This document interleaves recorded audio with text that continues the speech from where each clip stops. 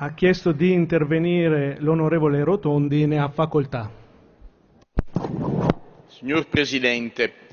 per me è molto difficile parlare oggi perché sono qui e sono entrato in politica per essere stato ammesso a 15 anni nella corte più eccentrica e singolare della politica di quella che si chiama Prima Repubblica, la compagnia di amici di un intellettuale prestato alla politica che ha cambiato la politica senza smettere di essere una personalità straordinaria di intellettuale e corrispondente ai tratti che lei ha splendidamente ricordato di mitezza, di umanità, di cordialità. 45 anni di amicizia mi consentirebbero di parlare a lungo, ma starò nei minuti che lei mi accorda. Potrei raccontare cose che sicuramente piacerebbero ai colleghi più giovani, perché la figura di Gerardo Bianco andrà conosciuta e ricordata a lungo e raccontata.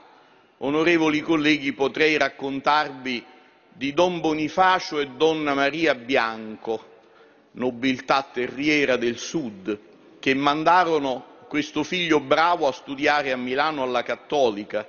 dove conobbe e intrecciò rapporti con comprovinciali che si chiamavano De Mita, in parte corregionali o comeridionali come Misasi, e con Enrico Mattei diedero impulso a scelte destinate a condizionare la democrazia cristiana.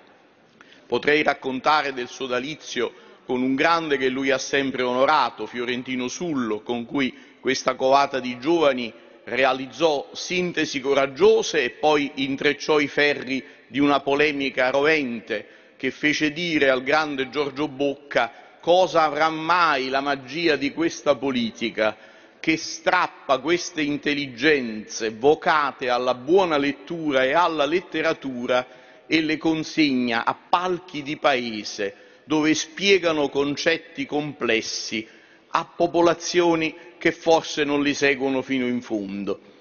È un tempo lontano ma vicinissimo se pensiamo alle scelte che Gerardo Bianco ha fatto e ne potrei raccontare tante. Preferisco per valorizzare questi pochi minuti tenermi solo su quella che è la testimonianza che lo definisce e lo consegna alla immortalità in quest'Aula dove è stato protagonista fino alla fine, mi viene spontaneo guardare verso i banchi del centro, dai quali nell'ultima legislatura punteggiava i dibattiti con citazioni mai presuntuose, sempre pertinenti e ironiche che animavano la vita parlamentare. Bianco è stato il difensore del Parlamento, sempre. Certo, come lei ha ricordato, Presidente, ha fatto scelte politiche che sono state importanti ed io cito anche quelle che non ho condiviso, l'Ulivo, la fondazione del Partito Popolare e soprattutto mi inchino a un maestro che ha consentito all'allievo di avere un'opinione diversa senza che smettesse di essere allievo e è stato maestro fino alla fine, ricordandomi anche nell'ultima conversazione che il primo dovere che noi abbiamo come parlamentari è difendere il Parlamento, come lui ha fatto. Lo fece nella democrazia cristiana, noi ci riuniamo in una saletta che si chiama Aldo Moro e si chiama così perché Moro lì spiegò l'opportunità di votare la fiducia al governo Andreotti di solidarietà nazionale soprattutto a cento parlamentari della democrazia cristiana che non la volevano votare ed erano guidati da Gerardo Bianco che esprimeva, si diceva che erano i peones, i cento, la maggioranza silenziosa, un'opinione diversa, grandezza di Moro che si inchinava a Peones ad illustrare, ma grandezza di Gerardo Bianco, che difendeva la libertà del Parlamento rispetto anche a una indicazione di partito, il Parlamento autonomo dal partito, come quando fu eletto per volontà dei parlamentari capogruppo del primo partito contro la volontà della segreteria del partito. Se noi avessimo un'oncia del coraggio civile che ha avuto Gerardo Bianco, questo Parlamento non sarebbe divenuto in alcune legislature quello che ahimè purtroppo talvolta è stato, una cinghia di trasmissione della volontà dei partiti. E anche nel suo ultimo incarico di Presidente degli ex parlamentari, lui ha prestato il suo sorriso bonario a una battaglia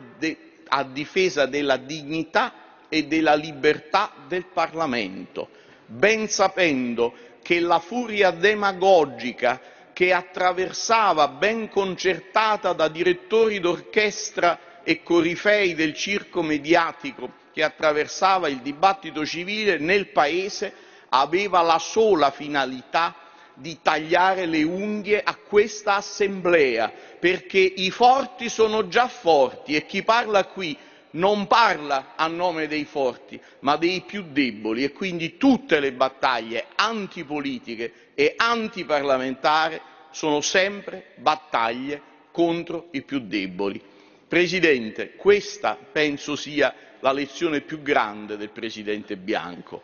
Io non gli ho mai dato del tu, pur quando me lo ha chiesto, l'ho sempre chiamato Presidente.